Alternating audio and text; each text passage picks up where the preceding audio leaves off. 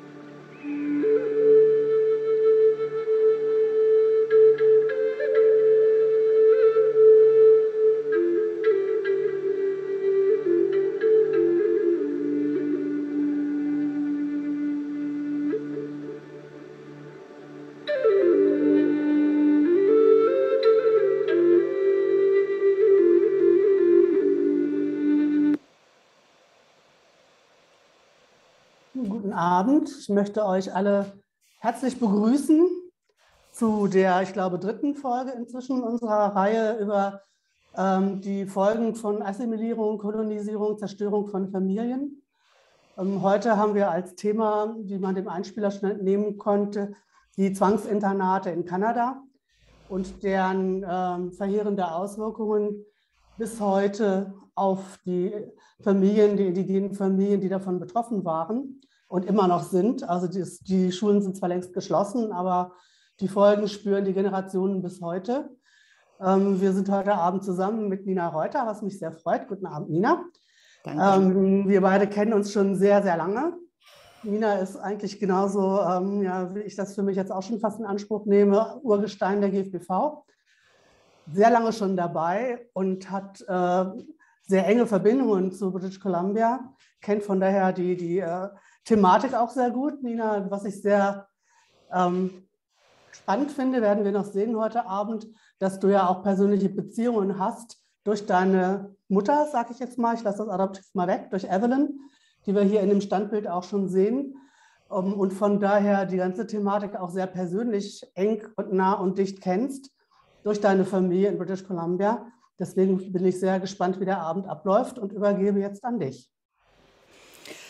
Herzlichen Dank, Yvonne. Guten Abend allerseits. Und als allererstes möchte ich auch noch mal kurz ähm, die Leute vor Ort zu Wort kommen lassen, nachdem halt im Mai letzten Jahres in der Residential School von Kamloops die 215 ähm, Funde, Leichen gefunden worden sind, beziehungsweise erstmal in dem ähm, Radar, Bodenradar die entdeckt worden ist, dass da Gräber sein müssen. Wo meine Familie immer ganz klar auch darauf hingewiesen hat, ist, dass es kein Massengrab ist, sondern dass es unmarked graves sind. Das heißt, dass die Kinder schon wirklich beerdigt wurden, aber eben in der Nähe von der Schule, erstens und zweitens, ohne dass irgendwelche ähm, ja, Kreuze, sonst welche Schilder oder Bezeichnungen in den Gräbern ist. Und wenn ich sage meine Familie, genau, Yvonne hat das vorhin kurz angesprochen, es handelt sich um Adoptivfamilie. Ähm, Evelyn Kimil, mit der ich zusammen in einem Sprachseminar vor 30 Jahren gewesen bin, hat mich halt kennengelernt und hat dann von sich aus beschlossen, mich zu adoptieren, was ähm, ja, nicht einfach eine Carte Blanche war, um jetzt äh, Schuhshop und Indianerin zu werden. Ganz im Gegenteil, mir wurde ganz klar gesagt, wenn ich meinen weißen Hintergrund aufgeben würde, deswegen, dann würde ich die Adoption nicht richtig verstehen. Und es ging darum, mir deren Denkweise und deren Kultur auch beizubringen, um ihnen europäische Denkweisen erklären zu können, genauso wie hier eventuell indianische Denkweisen zu vermitteln. Aber als allererstes kurz diesen Ausschnitt noch. Moment, da musste ich eben Eine Sekunde, ich hoffe, es klappt jetzt so, wie ich das haben möchte.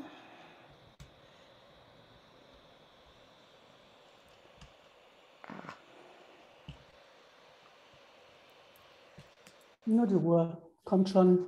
Ja. die Technik.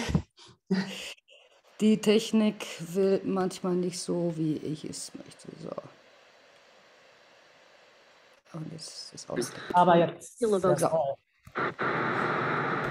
The Kamloops Indian Residential School has been closed for years, but it still evokes awful memories for those who attended. The residential schools was built to beat our language, culture, and traditions out of us.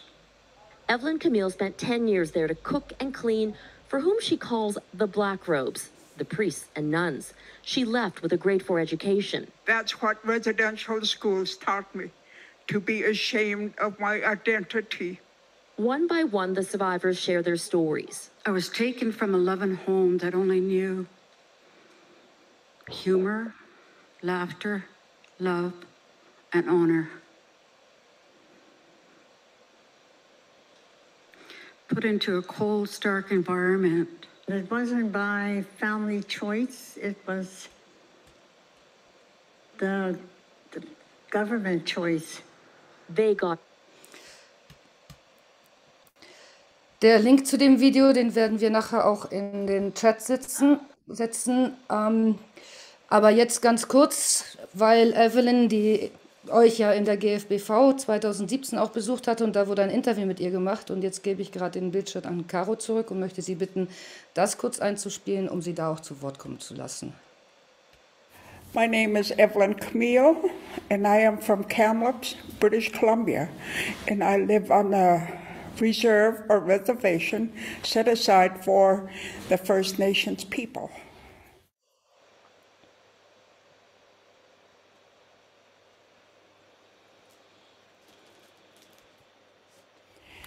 Many of them could not believe it.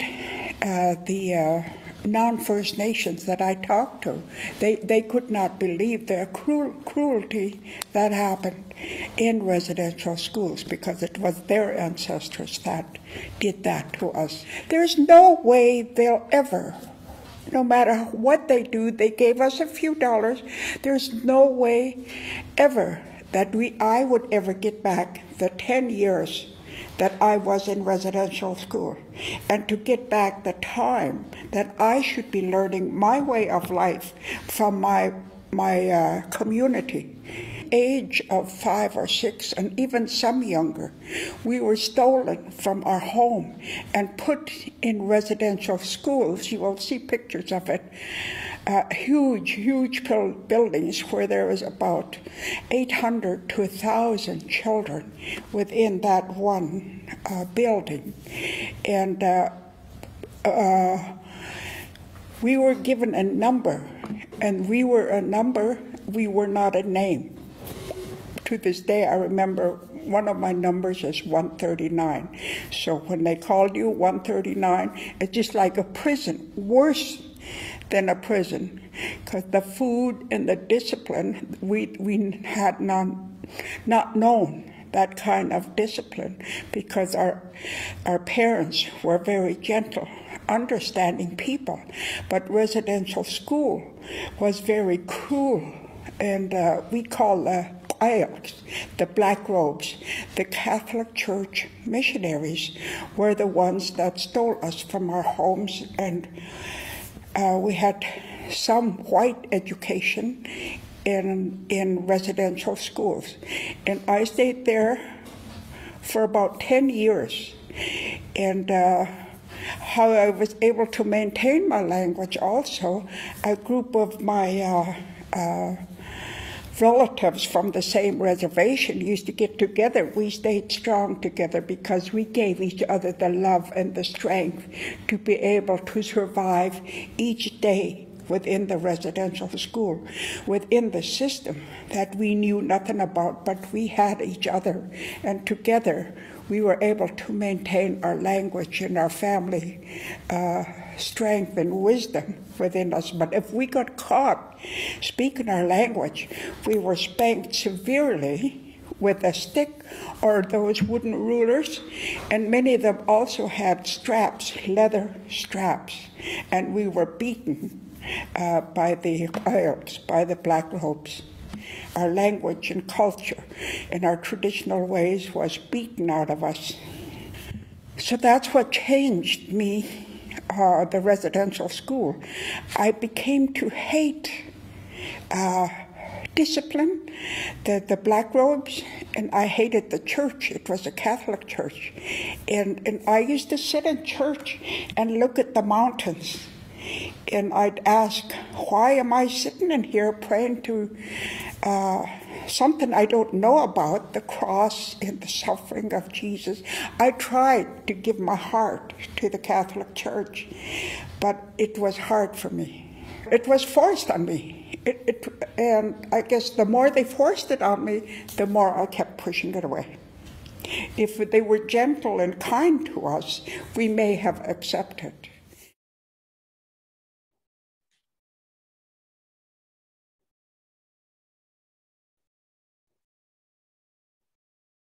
Ja, dieser Besuch von Evelyn, ich habe das immer wieder ganz unmittelbar vor Augen, wenn ich dieses Video sehe. Es war sehr aufwühlend und sehr bewegend und hat eigentlich sehr, sehr gut nachvollziehbar gemacht, was sie ja als doch ähm, ja, ältere Dame immer noch leidet unter dieser Zeit in der Schule. Tja, Nina, was sagst du weiter dazu? Sollen wir äh, ähm, kurz noch ein bisschen, oder möchtest du noch kurz noch ein bisschen erläutern, den Film, den du am Anfang gezeigt hast, weil er war ja voll in Englisch, hat vielleicht nicht jeder verstanden. Ja, es ging darum, erstmal auch ein paar Eckdaten ähm, zu geben. Äh, ich versuche im Augenblick mein, meine Screen nochmal zu, zu teilen. Ähm, voilà, ich gehe mal auf neue Freigabe.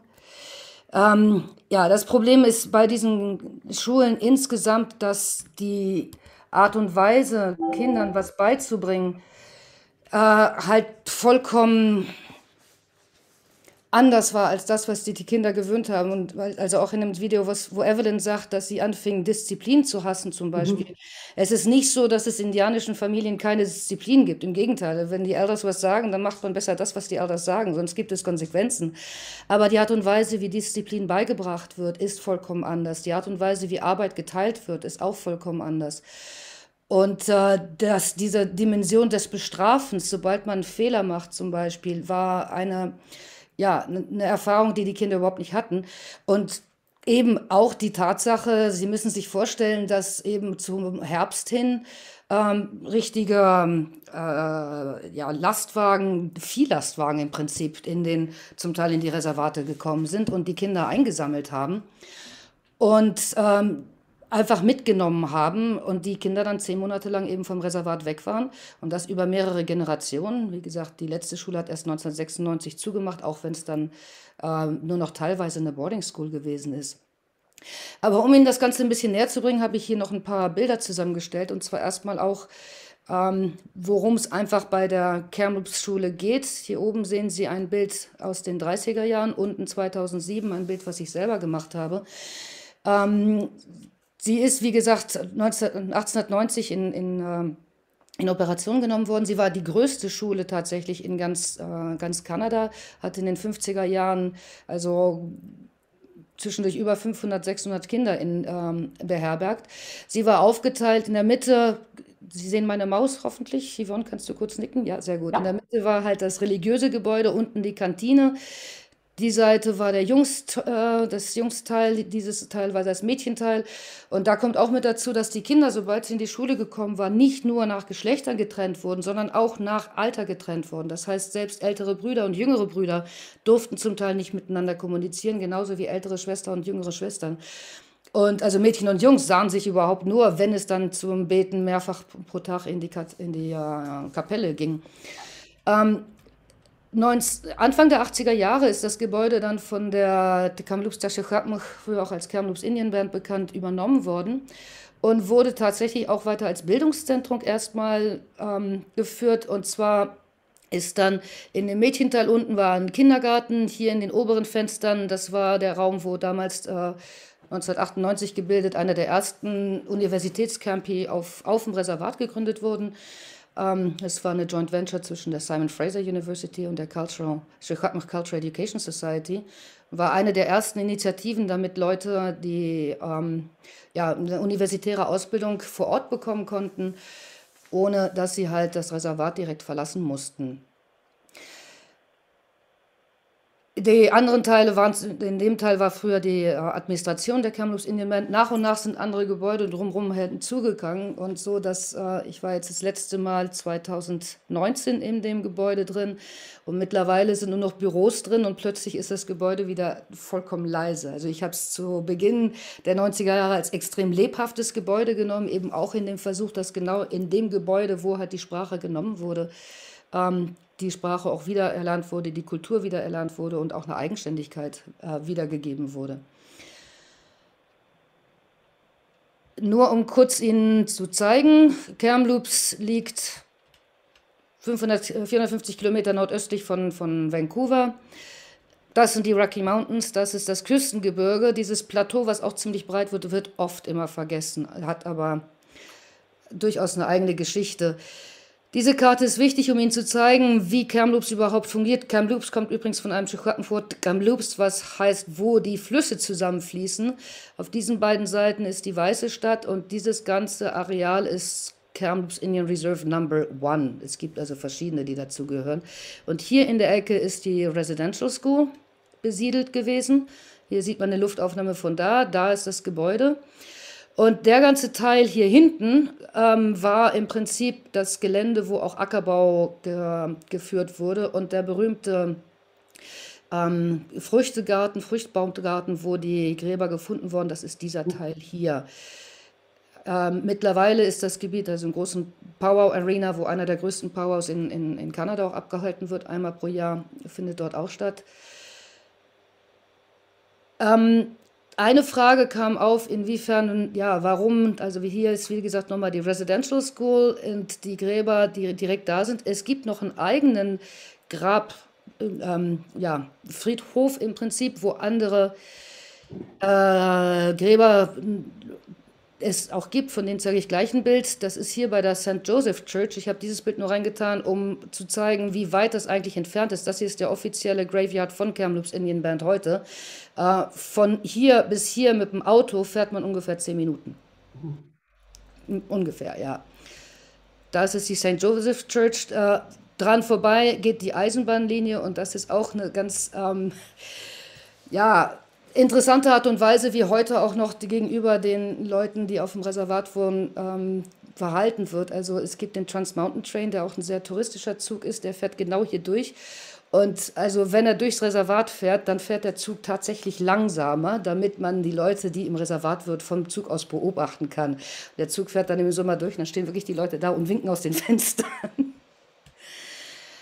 ähm, das sind die Gräber, die heute auf dem äh, Friedhof von Kamloops bei der St. Joseph Church, die ich Ihnen gerade gezeigt habe. Das sind alles Gräber aus, von Kindern aus der Residential School, die dort beerdigt sind. Man sieht, es sind verschiedenste Arten von Kreuze. Kein einziges der Kreuze, auch dort trägt einen Namen am Endeffekt.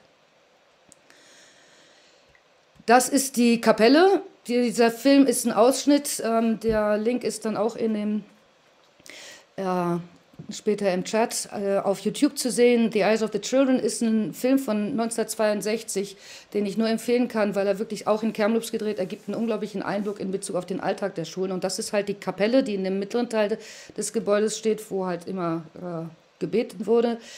Und so sieht sie heute aus. Das Foto ist leider etwas unscharf. Das heißt, das ist auch ein Raum, der wirklich voll wieder vereinnahmt worden ist, um unter anderem auch äh, moderne Verträge abzuschließen. Dazu sei ganz kurz hinzugesagt, dass die Schushab Shikhatmach keinen generellen Vertrag äh, geschlossen haben. Sie gehören zu den Nationen Kanadas, den ganz wenigen, die auch nie kapituliert haben, die nie insgesamt irgendwelche Verträge unterschrieben haben. Es gibt ein paar punktuelle wirtschaftliche Verträge tatsächlich oder in Bezug auf Bebauung ähm, auf dem Land. Aber sie sagen ganz klar, äh, ja, we never surrendered. Ein paar, drei Bilder, die in Folge jetzt auch, ähm, die ein bisschen auch das illustrieren sollen, was sich die katholische Kirche gedacht hat, weil was auch bei dem Interview mit Evelyn rauskam, ein bisschen ähm, die kanadische Gesellschaft und katholische Kirche die katholische Kirche hat tatsächlich die meisten Residential Schools betrieben, ähm, sind davon ausgegangen, dass am Endeffekt die Indianer ihre Kinder nicht vernünftig erziehen konnten. Und sie mussten halt dementsprechend, wenn sie irgendeinen Platz in der Gesellschaft haben wollten, umerzogen, assimiliert werden. Und es wurde ihnen dann eben auch über die ganze Zeit, die sie in der Schule waren, äh, immer wieder eingebläut, eingeschlagen, wie Evelyn es ja auch gesagt hat, dass ihre eigene Kultur halt äh, schlecht sei, vom Teufel käme, dass ihre Eltern schlecht seien. Und wie die zweite Dame in dem kurzen Video, was sie noch vorgespielt hat, auch gesagt hat, die Kinder kamen aus einer Familie, in der es unglaublich viel Liebe gegeben hat, in der es Zuneigung gegeben hat, in dem es auch sehr viel körperlichen Kontakt gegeben hat. Sie müssen sich vorstellen, das sind Kulturen, in denen wirklich alle Erziehung über Learning by Doing gegeben wurde auch. Das heißt, in dem Moment, wo die Kinder abwesend sind, kann auch die Sachen nicht mehr beigebracht werden. Und aus dieser Kultur, einer sehr warmen Kultur, einer sehr strengen Kultur auch, ich habe es selber erleben können, also man wird definitiv sehr diszipliniert dort aufgezogen, das ist keine Frage. Aber die Disziplin läuft, wie gesagt, anders. Und auch bei dem Bild sehen Sie, hier ist ein Mädchen, was bereits fein rausgeputzt ist. Das ist halt so das Ideal, wie man sich dann die äh, Kinder halt vorgestellt hat. Ähm, da ging es den Kindern dann schon besser. Sie waren bereits in der Schule. Man dachte auch, dass es den Kindern dort tatsächlich eben auch äh, insgesamt besser ging. Und das ist halt das Bild, was, wo alle am Endeffekt hin sollten. Brave, äh, gottesfürchtige Mädchen und Jungs. Ähm, hier nochmal ein kurzer Reminder auf diesen Film. Wie gesagt, äh, lässt sich auch über die Referenz aus, aufrufen. Es ist ein Film, der wirklich auch als Propagandafilm in den 60er Jahren benutzt wurde, um zu zeigen, wie progressiv die Kamloops Indian School gewesen ist und da eben auch äh, ja, Weihnachten eine ganz große Rolle gespielt hat. Ähm, und jetzt kommen wir zu der definitiv Schattenseite, was Evelyn ja auch schon angesprochen hat. Im Prinzip ist das, was diese Schule wirklich den vielen Kindern beigebracht hat, Hass gewesen. Und auch, es gab auch eine, ein System, wo die Kinder sich gegenseitig denunzieren sollten. Und wenn jemand zum Beispiel die Sprache gesprochen hat und äh, das dann von jemandem anders entdeckt wurde und diese andere Person es an die Mönche und Nonnen weitergeleitet hatte, dann gab es bestimmte Belohnungen, wie zum Beispiel besseres Essen. Und äh, Sie müssen sich auch vorstellen, dass in einer Schule, in der die Kinder ständig unter Hunger gelitten haben, weil das Essen äh, ja, katastrophal gewesen ist, auch die ganzen ge gesundheitlichen Umstände katastrophal gewesen sind. Deswegen hat es auch so viele Tuberkulosis-Tote gegeben. Äh, wenn man dann plötzlich ein bisschen besseres Essen bekommen würde, dann war das schon definitiv eine, ja, eine gute Belohnung.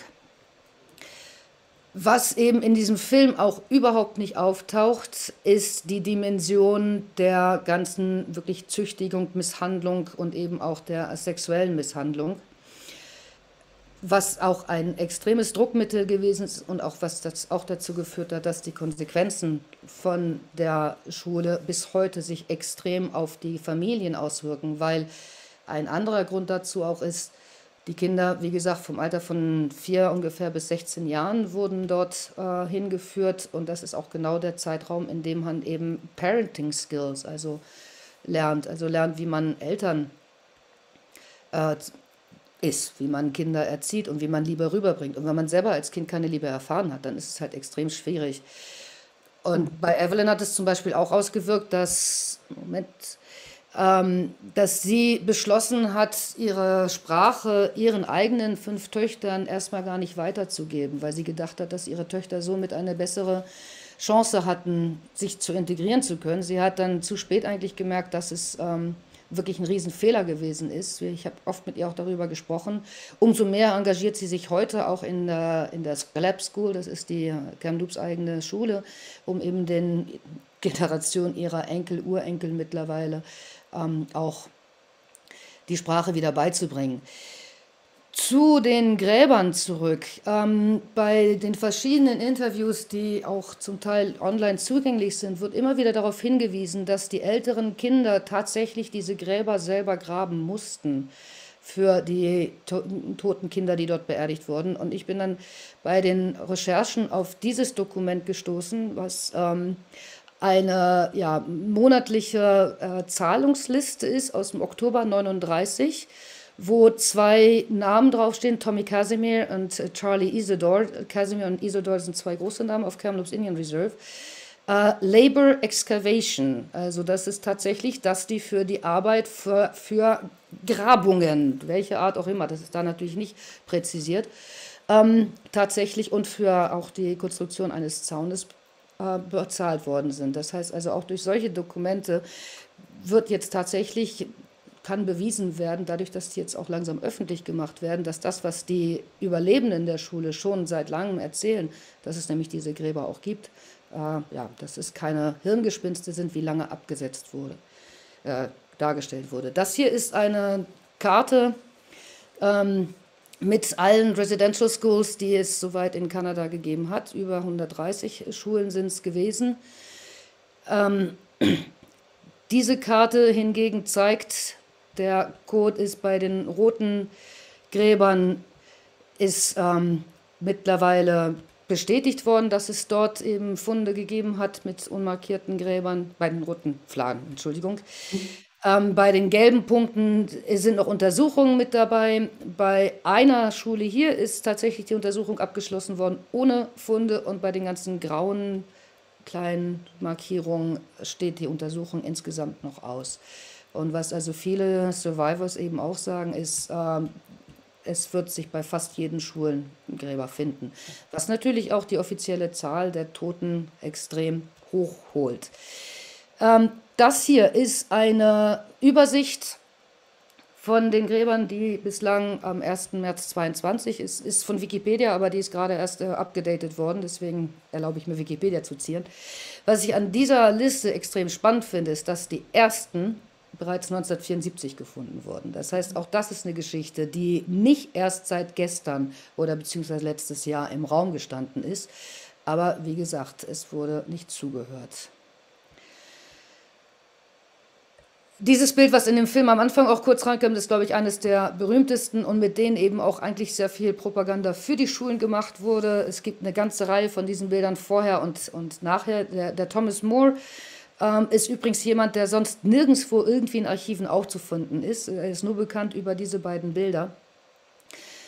Äh, es gibt auch viele Beschreibungen dieser Bilder mittlerweile. Die andere Referenz äh, kann man als PDF online runter, runterladen, ist ein sehr interessanter Übersicht auch, ähm, einfach um zugänglich zu machen, was eben die Hintergrundgeschichte von den Residential Schools ist. Weil nach wie vor es so ist, dass viele Leute, die äh, ja, es viele kanadische, weißkanadische zweifeln, dass die Schulen wirklich so schlimm gewesen sein könnten. Also das ist eine Meinung, die sich immer wieder auch breit macht.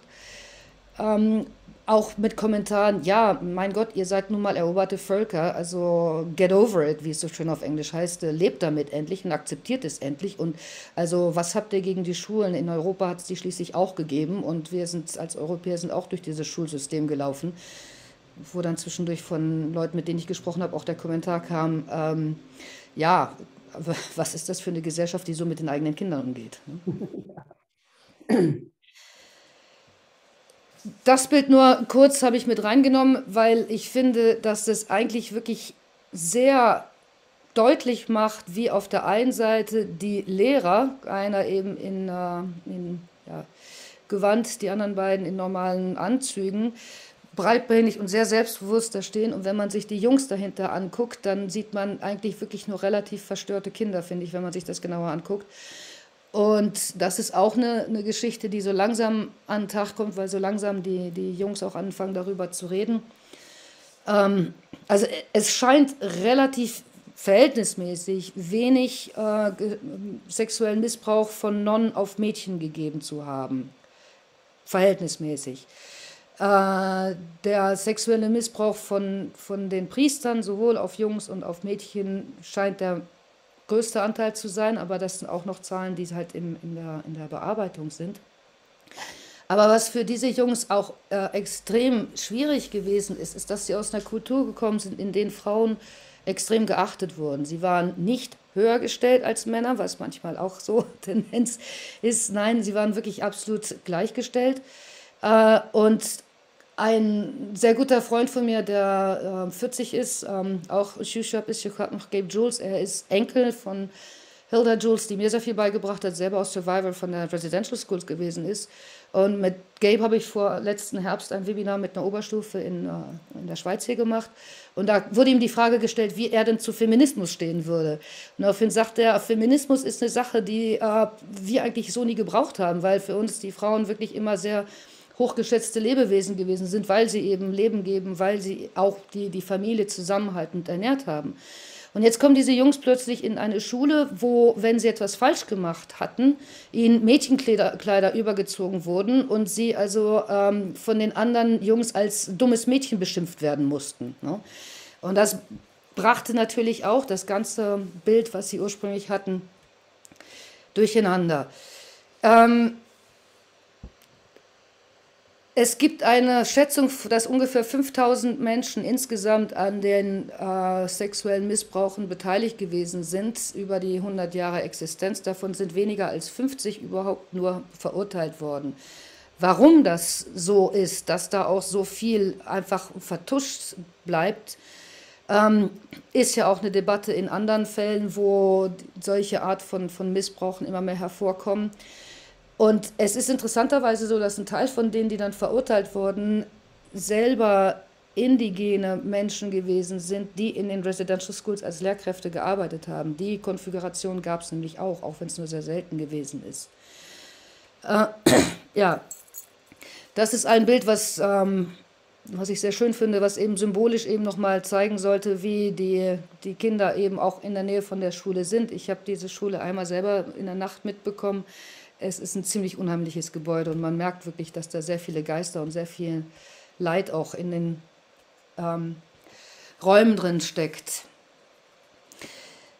Kurz zu Orange T-Shirt Day, Orange Shirt Society. Ich habe selber eins an.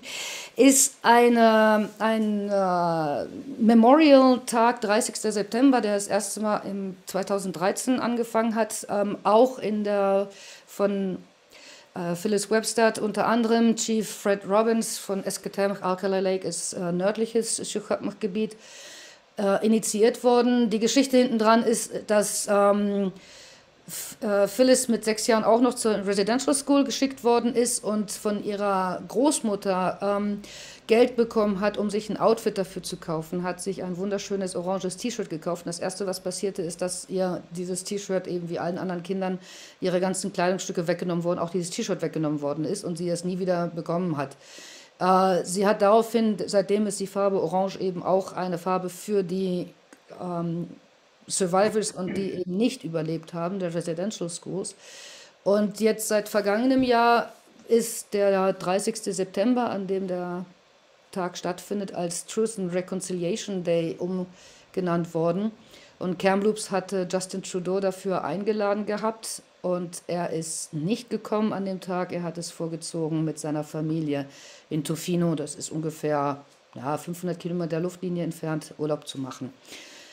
Ähm, ja, Trudeaus Kommentare, die sind vom 4. Juni 21 er, wie soll ich sagen, pocht sehr darauf, dass eben die Kirche endlich äh, Verantwortung übernehmen müsse und äh, sich entschuldigen müsse, was der Papst, soweit ich weiß, nach wie vor nicht gewillt ist zu tun. Die Bischöfe haben mittlerweile anerkannt, dass da sehr viel schiefgelaufen ist äh, und Unheil passiert ist. Interessanterweise ist die katholische Kirche die einzige der Kongregation, die sich bislang noch nicht entschuldigt hat für das und die auch noch nicht wirklich ähm, ja, da, dazu äh, zugestimmt hat, die Archive zu öffnen zum Beispiel. Und ja, Trudeau, wie gesagt, er pocht sehr auf die Verantwortung der Kirche, aber inwiefern der kanadische Staat auch die Verantwortung mit drin hat, ähm, da überspringt er gerne. Auch, dass er immer wieder sehr, wie soll ich sagen, medienbewusst ähm, darauf hinweist, wie schrecklich die ganze Tragödie ist, aber hintenrum im Prinzip auch Sachen passieren. Ich komme zum, später nochmal kurz darauf zurück, was im Endeffekt auch zeigt, dass die ganze Frage nach wie vor von einer großen Aktualität ist. Ich möchte ganz kurz noch auf ein paar Bücher hinweisen, die Sie dann auch, wie gesagt, ähm, die Referenzen finden. Es gibt einige Sachen, die online, ja, ist viel mittlerweile zugänglich. Eines der ältesten Bücher, ähm, 1988 veröffentlicht, ist über Kamloops Indian Residential School. Äh, das ist ein sehr, sehr ehrliches Buch. Es ist auch insofern ehrlich, weil es nicht nur über die ganzen Horrorgeschichten erzählt, sondern auch ein paar Leute zu Worte kommen lässt, die tatsächlich gute Erfahrungen in den Residential Schools gemacht haben. Weil, und das muss man auch dazu sagen, um der Geschichte gerecht zu werden, es gibt einige, die auch sagen, okay, ich habe in in der Schule eine Ausbildung äh, bekommen tatsächlich, die mich dazu geführt hat, ein anderes, also ja, ein gutes Leben hinterher zu führen. Ähm, ein Film, der auch in Chicopm Culture gedreht worden ist, von der gleichen Autorin und ihrer Tochter. Uh, Cowboys, Indians and Education. Der Name mag etwas überraschen, warum die Cowboys damit drin sind, aber das hängt ganz einfach damit zusammen, dass uh, für viele, auch in der Generation von Evelyn noch, das heißt, die Evelyn ist jetzt 83 Jahre alt, äh, lange Zeit sie alles sein wollten, bloß nicht Indianer und auch viel lieber Cowboy gewesen sind und dementsprechend auch bei den Rodeos ähm, ja, einfach wieder eine, einen Lebensweg gefunden haben. Weil eine Sache auch ganz wichtig ist, dass ähm, die, das Problem, was mit Drogen und Alkohol zusammenhängt, eben auch damit zusammenhängt, dass diese Menschen wirklich seelisch kaputt gemacht worden sind.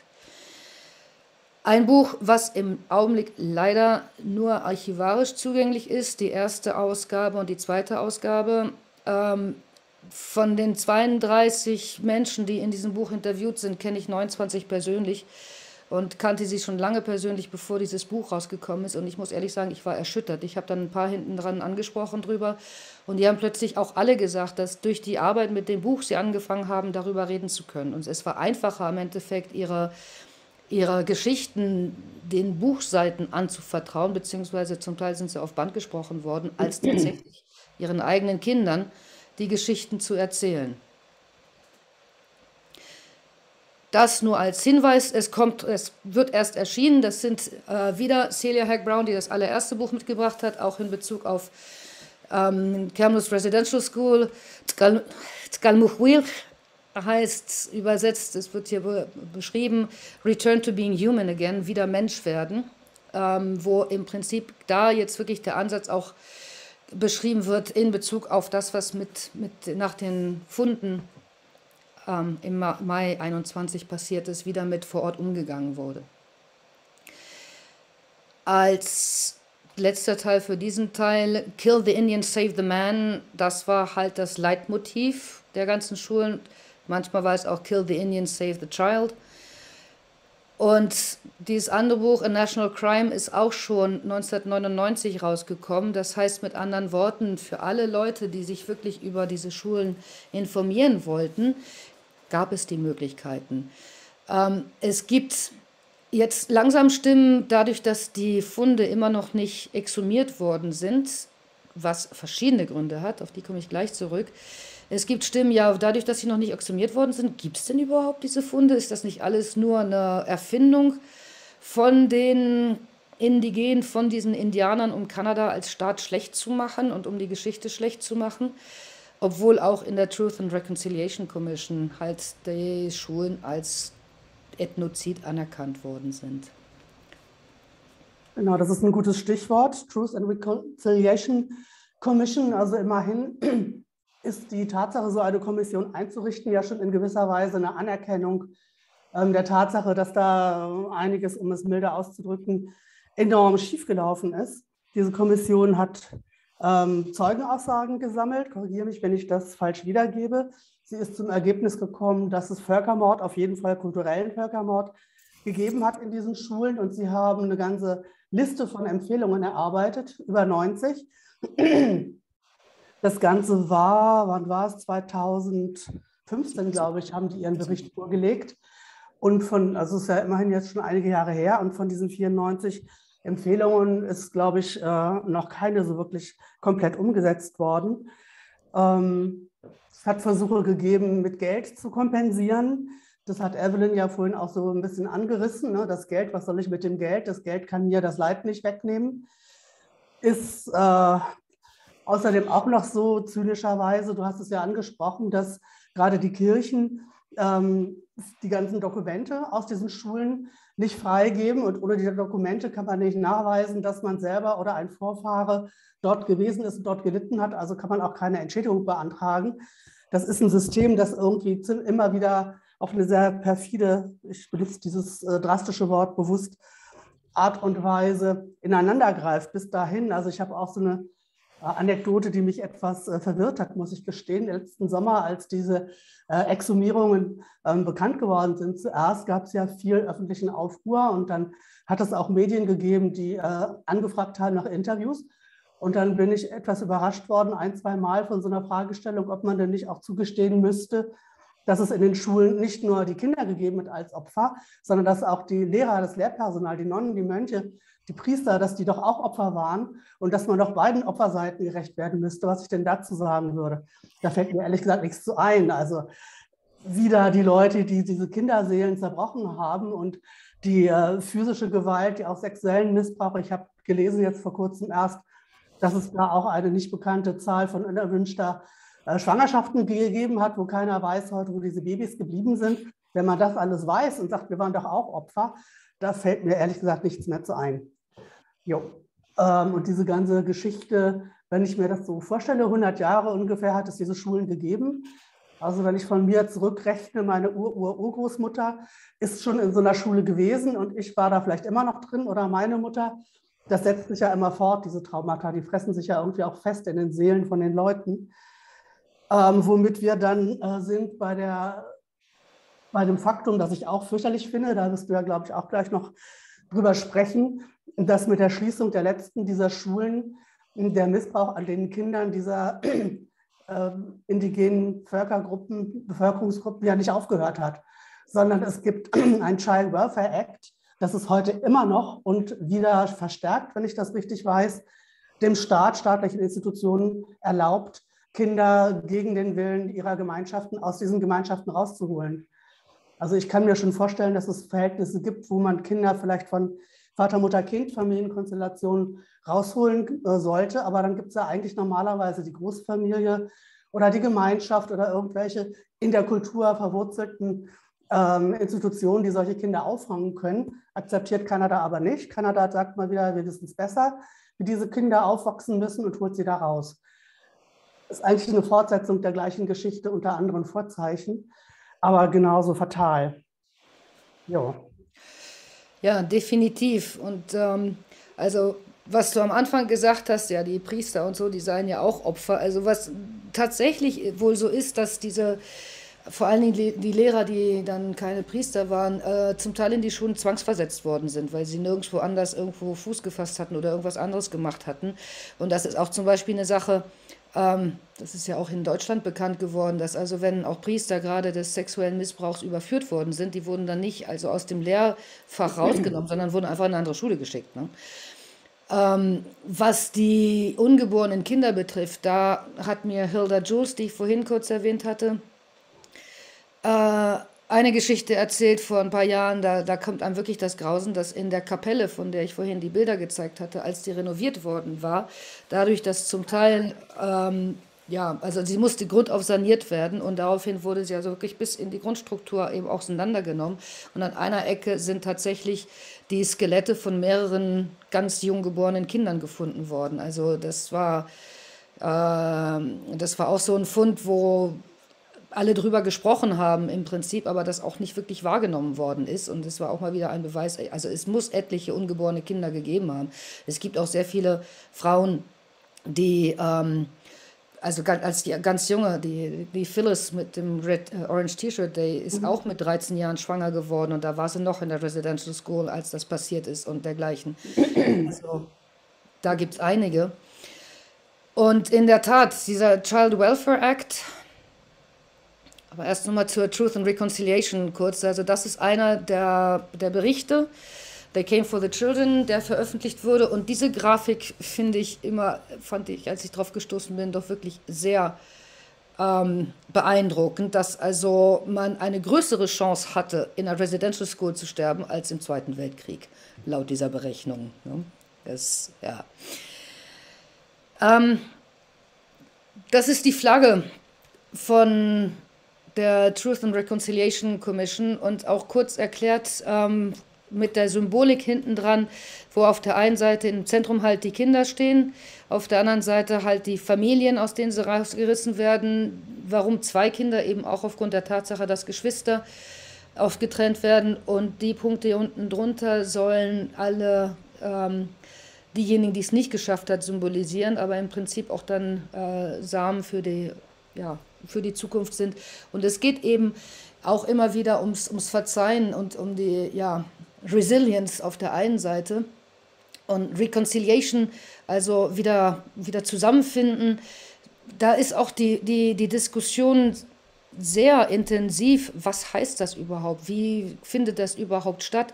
Und was Evelyn eben auch angesprochen hatte und du, Yvonne, auch, also die finanzielle Abfindung, das ist eine Sache, was auch eine Art und Weise ist, zu kompensieren. Das Problem ist nur, dass gerade dieser plötzliche Geldruhm viele Survivors noch mehr in Alkohol und Drogen gebracht hat, weil sie im Endeffekt nicht direkt auch mit dem Geld plötzlich umgehen konnten, beziehungsweise, äh, ja, wie soll man mit Geld verlorene Liebe aufwerten? Das kommt ja auch noch mit dazu. ähm, genau, das ist der erste offizielle, äh, offizielle Report. Und also da war es auch wieder so, dass auch Justin Trudeau sehr schnell eben diese Dimension des äh, Cultural Genocides angenommen hat. Aber im Endeffekt, ob er tatsächlich den ganzen Report durchgelesen hat, das ist die ganz große Frage. Ähm, hier ist, sind immerhin 400 Seiten, ist viel zu lesen. ah. Das ist eine Liste von diesen 94 Calls to Action, von den 94 Punkten, die halt die TRC, äh, Truth and Reconciliation Commission, zusammengestellt hat. Ähm, auf dieser Webseite Beyond 94 finden Sie, ähm, wie eigentlich jetzt die akt äh, aktuelle Umsetzung ist. Das ist ein Überblick von der Seite, also von den 94 Punkten sind 13 angeblich äh, fertig, verabschiedet. Angeblich, warum, sage ich gleich noch. Und die anderen, also ein Großteil, 20 sind, haben sie noch nicht mal angefangen mit. Und ein Großteil, also in progress, ähm, ja, Projects postponed. Das heißt, sie wurden angefangen, aber dann als zu schwierig. Und das ist immerhin äh, mehr als die Hälfte. Ne? Mhm. Und ähm, in Proje äh, Projects underway, ja, wann das dann zum Ende kommt, ist noch die ganz große Frage. Das Problem ist auch mit dem Child and Welfare Act. Ähm, ja, davor, genau. Bei diesem einen Calls for Action, die Nummer 75, ging es nämlich genau darum, dass eben auch die, die Legacy, also das Erbe von den Residential Schools, äh, öffentlich gemacht werden wird. Und das Geld, was dafür in die, äh, ja, eigentlich hätte reingehen sollen, ist bislang noch nicht zugänglich und kann auch noch nicht angefordert werden. Ne? Das ist dann auch immer die Sache. Es wird, werden dann auch zum Teil wirklich sehr große Summen versprochen. Nur wie man dann darauf äh, zugreifen kann, das ist dann nochmal eine ganz andere Geschichte. Ähm, eine ganz wichtige Konsequenz ist, die, und das wird auch oft genannt, dass eben, was, äh, was äh, Yvonne auch gerade angesprochen hat, das sind die Kinder, die halt äh, ja, aus den Familien zwangs rausgenommen werden und in Pflegefamilien gesteckt werden. Und dazu kommt, also Evelyn gehörte zu einer der ersten Frauen, die äh, es geschafft hatten, als Indianerin einen Status als Pflegemutter zu bekommen, hat dementsprechend auch viele Pflegekinder großgezogen gehabt. Und sie war eben Mitinitiatorin in, in British Columbia auch und ich glaube sogar kanadaweit, dass es darum ging, dass wenn die Kinder in zerrütteten Familien groß werden, ähm, dass sie dann eben nicht aus dem Reservat rausadoptiert werden, zwangsadoptiert werden, sondern dass es eine Möglichkeit gibt, dass sie in der, in der gleichen Kultur oder in, sogar im gleichen Reservat, in der gleichen Gemeinde einfach in andere Familien kommen. Es ist nach wie vor ein unglaublicher Spießrutenlauf. Also auch bei den letzten Kindern, die Evelyn aufgenommen hat, das war vor ein paar Jahren, also es, es ging, äh, ich, ich kann nicht mehr sagen, wie oft sie vor Gericht vorsprechen musste. Und dann kam noch dazu, dass sie ja mittlerweile ein gewisses Alter hatte und ob sie denn überhaupt in der Möglichkeit sei, sich um kleine Kinder zu kümmern. Also die waren äh, zwischen vier und acht Jahre alt damals.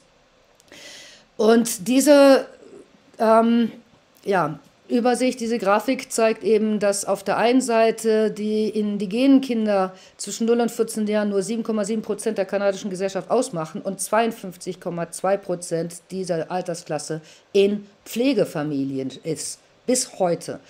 Und am Endeffekt handelt es sich da wirklich um einen fürchterlichen Teufelskreis, weil auf der einen Seite die, durch die Residential Schools, durch die Assimilierungsschulheime, ähm, eben den, den Menschen die Möglichkeit genommen wurde, zu lernen, wie man eigentlich in der Familie lebt. Und denen auch unglaublich viel durch den Hass, auch unglaublich viel ja, Gewaltpotenzial, sage ich ganz ehrlich, mit eingebracht worden ist. Und vor allen Dingen auch eine unglaubliche Verzweiflung, weil es oft so ist, dass ähm, auch bis heute, wenn man, also mir ist es zwei von meinen Neffen passiert vor nicht allzu langer Zeit, die hatten sich auf dem Reservat in Kamloops ist ein großes Industriegebiet und da war ein Job für Automechaniker, der sich geöffnet hatte. Und sie waren beide sehr froh darüber, wollten sich dafür anmelden und ähm, im ersten Augenblick schien es auch zu sein, alles okay.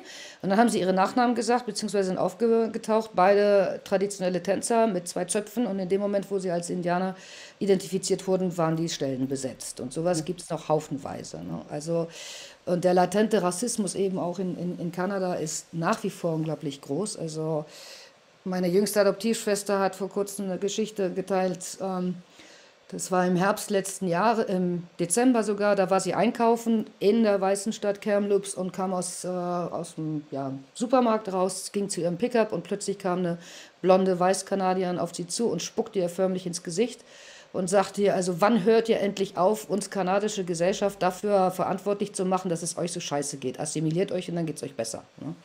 Also das sind Sachen, die bis heute wirklich einfach geschehen. Und das große Problem ist halt, dass eben diesen Kindern dann auch wieder, sie werden vollkommen von ihrer Familie getrennt, sie werden von ihren Wurzeln getrennt.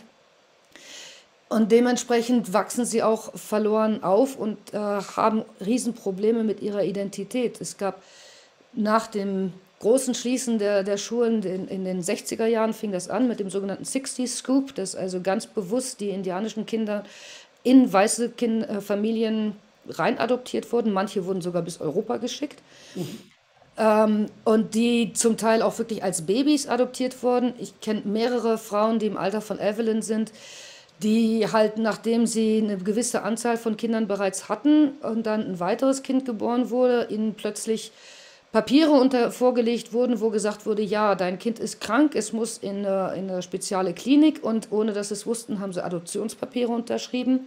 Und es gibt etliche solche Geschichten, dass also äh, bis heute am Endeffekt die, ja, den, den Indigenen nicht zugetraut wird, dass sie ihre Kinder vernünftig erziehen können, ohne die Hilfe des Staates. Und dieser Child and Welfare Act, der scheint erstmal so im ersten Hinblick ein ganz toller Text zu sein. Aber wenn man zwischen den Zeilen liest, dann merkt man, dass der kanadische Staat sich überall die Möglichkeit behält, als letzte Instanz eine Entscheidung zu treffen. Und das passiert halt mit allen möglichen Sachen, auch Gesetzesgebungen, die insgesamt auch gerade in Kanada heute passieren. Also ich will gar nicht von den Pipelines anfangen, da geht es dann noch weiter. Aber es gibt verschiedene Dokumente, die auch ganz klar sagen, äh, ja, dass die ähm, die Zwangsadoption bzw. der Welfare Act einfach nur eine Verlängerung der Residential Schools ist. Mhm. Und das, was am erschreckendsten ist, ist, dass ähm, zu der größten Zeit 1953, wo am meisten Kinder in den Residential Schools waren, waren 11.000 indigene Kinder in den Schulen. Ja? Und heute sind es 14.970 Kinder, die in Pflegefamilien sind. Das heißt, es sind heute mehr Kinder außerhalb der indigenen eigenen Familien untergebracht als während der Residential Schools. Und da fragt man sich wirklich, also inwiefern sollen die, die Familien, sollen die Gemeinden es schaffen, diesen Teufelskreis irgendwie ja, zu, zu überleben und damit auch umgehen zu lernen, wenn diese Bedrohung nach wie vor da ist. Ich verhalte mich falsch laut dem kanadischen Staat, dann riskiere ich mein Kind zu verlieren.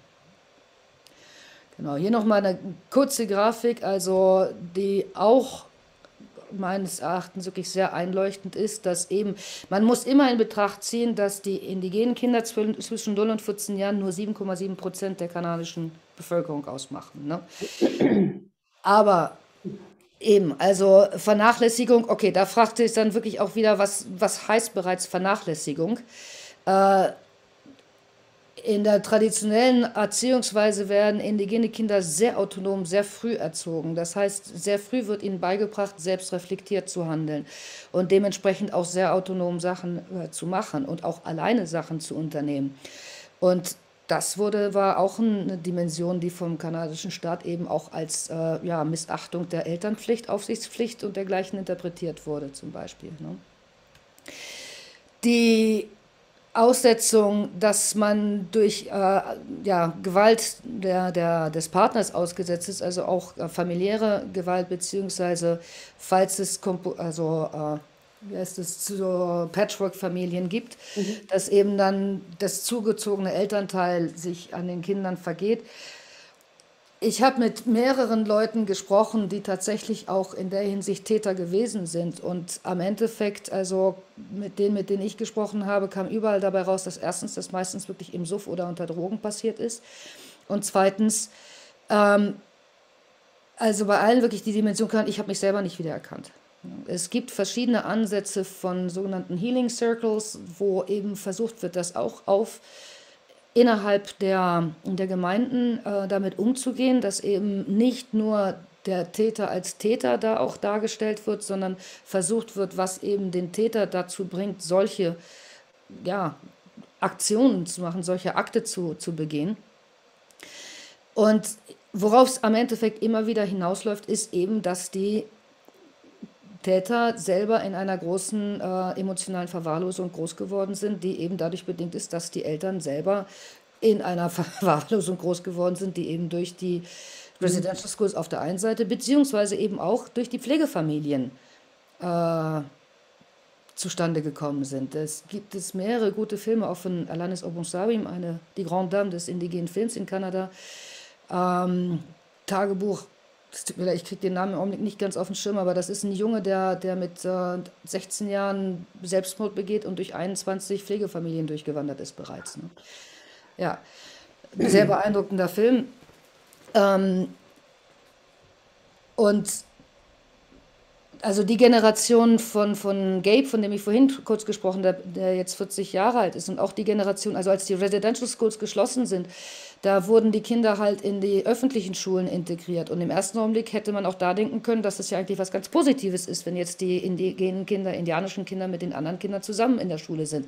Das Problem war nur, und das hat wirklich die Generation, die jetzt äh, 40 Jahre alt ist, noch voll mitbekommen, dass die indigenen Kinder halt einfach als nicht so intelligent betrachtet wurden und dementsprechend von den Lehrern auch oft beiseite gelassen wurden und von den anderen Kindern auch dementsprechend äh, oft gemobbt worden. Und es gab also oft auch Prügeleien, einfach nur, weil sie eben ja, Indianer waren. Ne?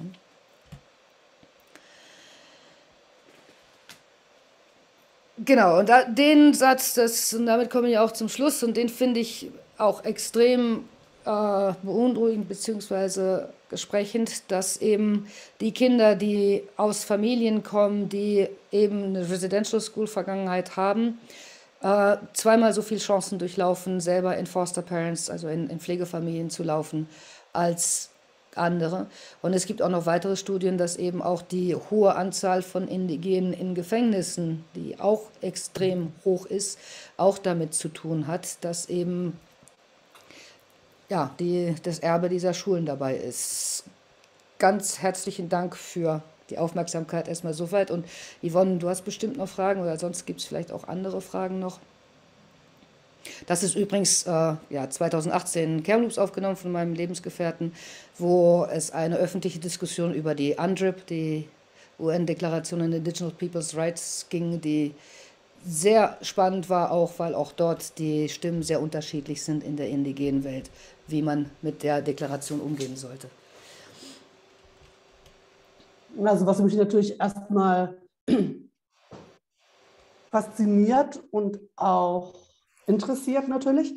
Ähm, ich habe ja nun Evelyn kennengelernt, als sie in Göttingen war. Und ich weiß äh, von dem Interview, das wir beide gemacht haben für die letzte Ausgabe unserer Zeitschrift, für Vielfalt heißt sie, dass sie da erzählt hat, ähm, wie sie ihre Sprache retten konnte, obwohl es ja in der Schule verboten war, sie zu benutzen, indem sie halt mit sich selbst gesprochen hat. und dadurch halt die Sprache nicht verloren hat und sie eben in Möglichkeiten gefunden hat, mit ihren Verwandten auch zu sprechen. Wie schafft eine, Familie, die durch mehrere Generationen ja wahrscheinlich auch durch so ein System durchgelaufen ist, sich wieder zu stabilisieren? Also sie hat ja irgendwann gesagt in dem Interview, Evelyn, dass sie auch voller Hass gewesen ist und dass sie sehr zu arbeiten hatte, um sich da rauszuarbeiten. Und jetzt so, ich glaube, man kann das schon sagen, konnte man ja auch gut verfolgen in äh, den Medien letzte Woche, äh, Quatsch, letzten Sommer, ähm, dass sie zu, zu einer Spokesperson geworden war für die Überlebenden. Sehr taffe, powerful Frau, die auch nicht äh, verborgen hat, wie sehr sie bis heute berührt und bewegt ist, wenn sie über diese Zeit spricht. Dann steht sie halt immer noch da und weint, obwohl das Jahrzehnte zurückliegt. Aber sie weint auch, also sie lässt die Emotionen zu. Da habe ich mich gefragt, wie schafft ein ganze, ganzes Volk, eine ganze Gemeinschaft, eine ganze Bevölkerungsgruppe, das äh, mit solchen Traumata fertig zu werden. Wie machen die das? Wie, wie schaffen sie es zu leben und zumindest Evelyn ja auch wieder stabil zu werden und andere zu stabilisieren? Wo hat sie die Kraft her? Im Red Road, würde ich sagen, also im roten Weg, in dem sie sich halt wirklich sehr auch auf die eigene Spiritualität und die eigene Lebensweise wieder zurück ähm, besonnen haben. Aber es ist ein Prozess, der gerade erst angefangen hat. Also die, die ganzen Traumata sind bei weitem noch lange nicht überwältigt. Und ähm, also ich habe jetzt in der letzten Zeit eben auch mit, mit meinen Adoptivschwestern, also mit Evelyns Töchtern, mehrfach drüber gesprochen gehabt, wo von denen rüberkam, okay, mit mir hat sie drüber reden können, weil ich auf der einen Seite halt zur Familie gehöre, aber trotzdem außenstehend bin. Und also die, die, die Schwestern, ihre Töchter, die sind jetzt dabei, zum Teil erst überhaupt Dimensionen zu erfahren, was ihrer Mutter zugänglich, also passiert ist äh, von denen sie wirklich keine Ahnung hatten. Und von Evelyn kommt auch ganz klar rüber, dass sie im Prinzip ihren, mit ihren Kindern das auch nicht teilen wollte, weil sie diese, die, dieses Bedrückende, äh, diese Angst, die in der sie gelebt hat, eben ihre Töchter nicht weitergeben möchte, wollte. Mhm. Aber intergenerationelle Trauma laufen halt auch über sehr viele äh, halbbewusste Wege, sage ich mal, dass eben durch die Angst, die die Generationen als Kindheit verspürt haben, äh, zum Beispiel jemanden in den Arm zu nehmen. Das ist eine Geschichte, die Evelyn auch immer wieder erzählt. Sie hat es nie geschafft, ihre Töchter, als sie klein waren, in den Arm zu nehmen. Sie hat erst mit ihren Enkelkindern gelernt, jeder äh, in den Arm zu nehmen. Ne? Mhm. Und ähm, also, wie kann man die Traumata überwinden? Äh, mit ganz, ganz, ganz viel Arbeit, ganz viel Offenheit, mit ganz viel Respekt, mit ganz viel ähm, Rücksicht eben auftränen. Und ich glaube, was auch ganz wichtig ist, äh, das ist zum Beispiel auch ein Problem bei der Truth and Reconciliation Commission gewesen. Da gibt es auch mehrere ganz gute, sehr gute Bücher drüber, dass die ganze Art und Weise, wie über, also was als Zeugenaussage angenommen wurde, einem sehr europäischen Zeugensystem äh, entspricht. Und auch was die, die, das Weiterbeleben der Sprache betrifft. Also ich glaube, was, was höchste Zeit wirklich wäre, äh, zu akzeptieren, nicht nur, dass die, kanadisch, äh, dass die indigene kanadische Denkweise sehr anders funktioniert, auch anders mit solchen Sachen umgeht und dem auch wirklich endlich mal gehört zu lassen. Weil bislang ist es wirklich so, dass sämtliche Versuche irgendwie dann doch wieder in die europäischstämmige mhm. Gemeinschaftsdenkweise mit reingepresst werden. Und das ist für viele der falsche Ansatz. Das Problem ist halt nur, dass diejenigen, die tatsächlich noch äh, die Sprache wirklich sprechen und eben auch den, den Higher Speech, das heißt die konzeptuelle Sprache, die es selbstverständlich auch gegeben hat, äh, werden immer weniger. Ne? Und das sind oft Leute, die es geschafft haben, der Residential School zu, zu entwischen, die halt versteckt worden sind, ganz einfach. Weil das ist eine Frage, die mir auch gestellt wurde zwischendurch. Ja, nein, die, die Eltern hatten keine Wahl. Wenn die Kinder registriert waren, dann äh, wurden die Kinder abgeholt und wenn sie nicht äh, mitge also wenn sie nicht gegeben, mitgegeben wurden, dann wurden die Essensrationen gekürzt oder es wurden Geldstrafen auferlegt. Das waren alles Sachen, die die Eltern definitiv nicht bezahlen wollten. Mhm. Ja. Eine andere Frage, die äh, du mir, glaube ich, auch mal gestellt hattest, also warum, wenn da mehrere Generationen waren, dann müsste es doch bekannt gewesen sein, was in diesen Schulen passiert und warum mhm. dann das einfach ähm, nicht vorgewarnt wurde. Das ist eine Sache, wo ich auch mit Hilda mal drüber gesprochen hatte, wo die auch ganz klar sagte, dass für sie das ein Schutzmechanismus jeweils der älteren Generation, der jüngeren Generation gegenüber gewesen ist. Ne? Dass sie nicht drüber gesprochen haben, meinst du? Ja. Ja. Und mhm. dementsprechend, dass die Kinder, okay, die, äh, die Erfahrung war vielleicht dadurch umso heftiger, aber auf der anderen Seite, wenn die Kinder schon mit Angst dahingegangen wären, dann wäre es vielleicht noch schlimmer gewesen. Ich, ich weiß es nicht. also, es ist. Ich habe hier eine Frage gesehen. Ja. Ein bisschen im, im Chat geguckt eben. Zwei Fragen habe ich gefunden. Eine fand ich ganz spannend, die nimmt Bezug auf die Stolen Sisters Problematik. Also die äh, Frauen, na, du brauchst dir die nicht erklären. Ähm, Gibt es da auch einen, vielleicht äh, einen Zusammenhang? Also äh, Dropouts, äh, zerrüttete oder nicht mehr vorhandene ähm, familiäre Verhältnisse, die das begünstigen?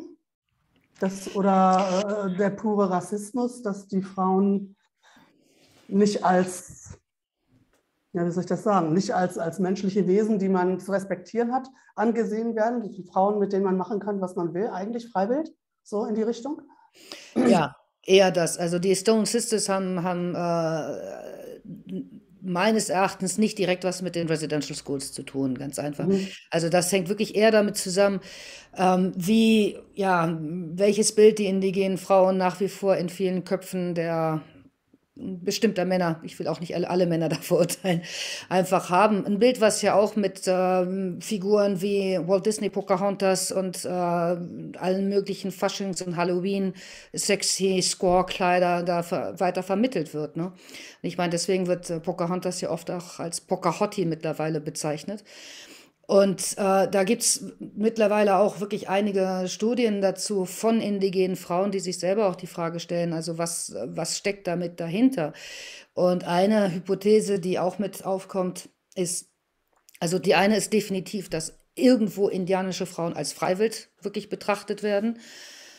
Äh, ich habe Anfang der 90er Jahre in der Hinsicht selber ein paar Erfahrungen gemacht, als ich mit meinen Schwestern halt losgezogen bin und da irgendwo auch untergegangen bin und von eben weißen Männern auch als Indianerin identifiziert wurde. Und also es ist wirklich kein, kein gutes Gefühl, in manchen Gegenden rumzulaufen, wenn man als Indianerin betrachtet wird.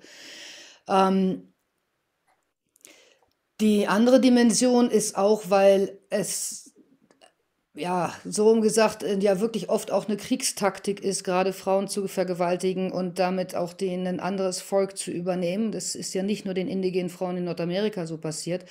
Und da gibt es mittlerweile auch viele Forschungen, dass es wirklich ähm, eine Art und Weise ist, zu versuchen, eben eine Völkergruppe, die man, die von einer anderen Völkergruppe erobert wurden, dementsprechend auch einfach weiter zu demütigen und einfach zu äh, daran deutlich zu machen, ja, wie, wie sehr sie Leute zweiter Klasse geworden sind. Ne?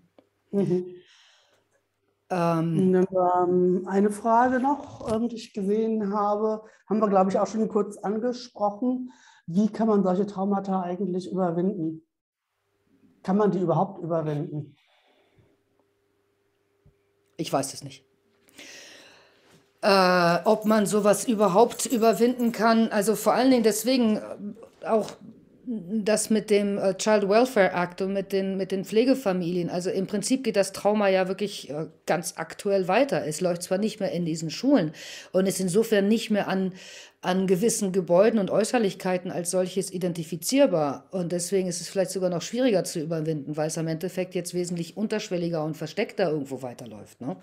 Weil Mhm. auch da, also ja, sie werden ja nun nicht mehr in, in äh, Assimilierungsheime gesteckt insgesamt, sondern sie werden ja in guten Pflegefamilien untergebracht. Ne? Aber das Grundproblem, also warum die Kinder überhaupt aus den Familien rausgerissen werden. Und ein Argument, was, was Evelyn in einem anderen Interview auch gibt, was auch äh, auf äh, Global National zu sehen ist, wo sie ganz klar sagt, äh, diese ganzen verschiedenen Nationen hatten ihre eigene funktionierendes Child Welfare System. Das heißt, wenn es irgendeinem Kind in irgendeiner Familie nicht gut gegangen ist, dann hat sich die Gemeinde darum gekümmert und hat dann selber nach Wegen gesucht, wie es diesem Kind besser gehen kann. Ne? Und das ist eben nach wie vor ein System, was nicht akzeptiert wird und was nicht anerkannt wird. Und insofern, also wie soll ein Trauma überwunden werden, wenn es am Endeffekt täglich weiter wieder bedient wird? Ne? Und ich glaube, das wird wirklich erst in dem Augenblick äh, überwunden, wo die kanadische Gesellschaft insgesamt auch eben der indigenen Gesellschaft in Kanada anerkennt, dass es absolut ihre eigene Wege hat, mit solchen Problemen umzugehen. Nicht die Hilfe von Vater oder Mutter Staat dazu braucht. Ne? Mhm. Ganz am Anfang war noch eine Frage, möchte ich nicht äh, unterschlagen. Ähm, als wir geredet haben über die vielen Kinder, deren Verbleib ungeklärt ist, aus der Zeit, wo es die Schulen noch gab, ob es da Namenslisten gibt, dass man nachvollziehen kann oder wenigstens Zähllisten oder Namenslisten sogar, um welche Kinder es da geht. Ja, das ist also inwieweit die vollständig sind, weiß keiner. Und das ist eben genau die Sache mit den Archiven der katholischen Kirche. Also es wurde eigentlich minutiös über alles, was in diesen Schulen äh, passierte, Buch geführt. Aber diese Dokumente sind nach wie vor großteils nicht zugänglich. Und das ist auch eine Sache, wo der Vatikan und der Papst nach wie vor sich weigern, die öffentlich zu machen äh, was für viele auch unverständlich ist. Also auch wenn der, der Papst äh, ja nicht dem, einer öffentlichen Entschuldigung zustimmen möchte, also wenigstens kann man ja die Archive öffnen, um damit dann nach, da Nachforschung zu machen. Ähm, also insofern, es, es gibt mit Sicherheit Listen irgendwo, aber wie vollständig die sind und äh, wo die genau liegen, ist bislang unklar. Mhm. Die andere Sache ist natürlich die Erinnerung von den, von den Menschen, die Kinder verloren haben, die es eben auch gibt. Und, aber da sind die Informationen, die sie dann von den Schulen bekommen haben, sehr undurchsichtig. Also es wurde dann entweder gesagt, ja, äh, sehr viele Kinder angeblich sind bei der Flucht dann erfroren zum Beispiel, ne, wo man mhm. von der indigenen Seite sich auch fragt, was ist das denn für ein Argument? Also die Kinder sind in, in den Bergen groß geworden und äh, wussten im Prinzip, wie sich zu helfen, beziehungsweise wo dann auch Unterschlupf zu finden. Aber es ist ja auch so gewesen, das darf man auch nicht unterschätzen, dass auf den ganzen Reservaten es auch äh, indianische Polizei gegeben hat, die halt im Auftrag auch der Regierung beziehungsweise auch der Kirche dann diese Ausreißer wieder eingefangen hat. Ne? Also, äh, und das ist eben auch ein Teil des Traumas, wo zum Teil Familien eben beziehungsweise die Menschen auch gegeneinander gewirkt haben. Und das mhm. macht es auch nicht einfacher, das aufzuarbeiten. Ne?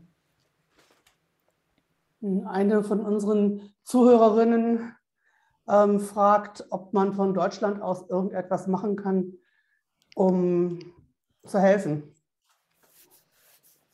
Schwierig, schätze ich, aber du lebst ja nun in beiden Welten. Du kannst es vielleicht beurteilen.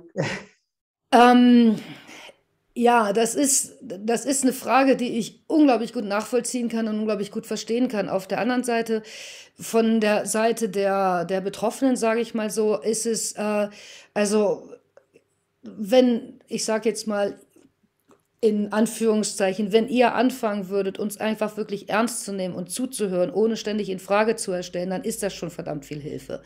Wenn ihr das teilt, was ihr lernt und wenn ihr einfach in eurem eigenen Verhalten lernt, wirklich respektvoll anderen umzugehen, euch selber zu prüfen, wo fange ich an, mit Stereotypen zu arbeiten, wo fange ich an, plötzlich ähm, ja, jemanden anders als minderwertig zu betrachten, aus welchen Gründen auch immer. Und da im Prinzip mit so einer Dimension der Selbstanalyse auch anzufangen.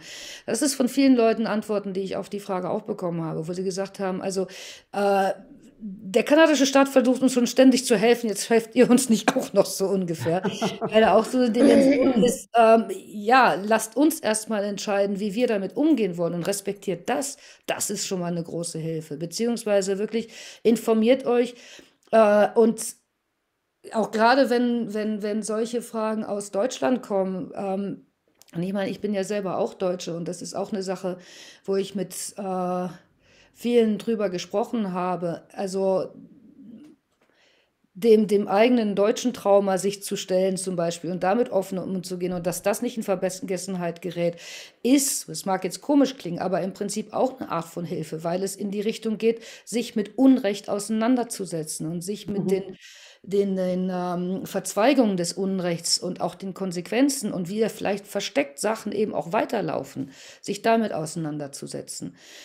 Ähm, ich glaube, das, das sehen wirklich viele Betroffene als eine viel größere Hilfe, als jetzt tatsächlich irgendwo äh, Geld spenden zu wollen oder dergleichen, weil das, das sind Sachen, damit kann nicht wirklich geholfen werden, ganz so, wie das klingt. Natürlich ähm, kann mit direkten Spenden solchen äh, Initiativen wie Orange T-Shirt Society zum Beispiel auf der Website, die haben Spendenaufrufe, um dann dementsprechend Veranstaltungen zu organisieren. Das ist das ist eine ganz konkrete Sache, wo man eben auch spenden kann, auf jeden Fall. Ich weiß nicht, ich habe im Augenblick nicht direkt auf dem Geschirm, äh, inwiefern bei euch auch was machen kann als GFBV. Das sind so punktuelle Sachen, wo man definitiv auch mit einer Geldspende unterstützen kann. Und sowas kann man sich im, im, im Netz wirklich informieren. Also ich war jetzt auch, als ich die verschiedenen Sachen hier für dieses Webinar zusammengestellt habe, äh, absolut überrascht, wie viel Information es wirklich im Netz gibt, wenn man ein bisschen anfängt äh, zu, zu recherchieren. Es ist also mhm. Ganz eindeutig. Und äh, wie gesagt, also da gibt es auch verschiedenste Organisationen, die auch Spendenaufrufe machen. Und da kann man ganz konkret für eine ganz bestimmte Aktion dann eine Spende eben auch hinkommen lassen. Ne? Aber generell ist es wirklich äh, vielen Anliegen einfach, ja, dass die Leute anfangen, in sich selber zu gehen, auch und zu merken, wie, ja, wie funktionieren Stereotypen auch in meinem Kopf, ne? Vorurteile. Vorurteile, das ist ein, ein Wort, das viel bewirkt. Ja, wir gehen gerade so durch den Kopf die äh, Biografien, die man ja auch nachlesen kann, von Leuten, die erzählen, dass sie erst in äh, solchen, solcher Art von Schulen waren da ist ihr Selbstvertrauen gebrochen worden, ihr Selbstbewusstsein gebrochen worden. Sie sind mit einem unheimlichen Selbsthass da wieder rausgekommen, anschließend im Knast gelandet. Äh, da wieder rausgekommen, dann haben sie gar keinen Sinn mehr gesehen in ihrem Leben, haben angefangen, äh, alle möglichen Drogen zu missbrauchen und sind dann halt aus dieser Schleife entweder nur unter größten Schwierigkeiten oder gar nicht wieder rausgekommen. Und das weiße Kanada guckt da hin und sagt, na, Säufer, Dropouts hängen in der Gosse, sieht man ja, was sollen wir uns mit denen noch begeben, abgeben? die kriegen eh nichts gebacken. Das ist so ein, so ein fataler Zirkel, der irgendwie viel zu wenig Beachtung findet, finde ich, dass man da eben nicht unbedingt, wenn man Geld mit der Gießkanne verteilt, hilft, sondern vielleicht auch Programme, Sozialprogramme, vielleicht Bildungsprogramme, sowas in der Richtung. Was hältst du davon? Ja, Bildungsprogramme und vor allen Dingen wirklich einfach aufmerksam und zuhören. Also mir fällt dazu ein, die, die Geschichte mit dem Highway of Tears zum Beispiel. Das ist dieser große mhm. Highway im Norden von British Columbia, wo die meisten indigenen Frauen verschwunden sind. Also von der indigenen Seite her ist da immer wieder darauf aufmerksam gemacht worden. Immer wieder, immer wieder, immer wieder. Und genau wie also in der Denise Jeschke in den Fragen und Antworten eben auch drin steht. Also die Polizei ermittelt halt einfach nicht. Ne? Das ist dann erst wirklich publik geworden, indem eine weiße Studentin verschwunden war und deren Eltern nicht nachgelassen haben. Das war der Ausgangspunkt, worum dann überhaupt angefangen wurde, danach zu, zu recherchieren. Ne? Aber es gibt ähm, APTN.ca, äh, das ist der, der indigene Nachrichtensender in, in Kanada. Die haben ein Programm, das heißt APTN Investigates.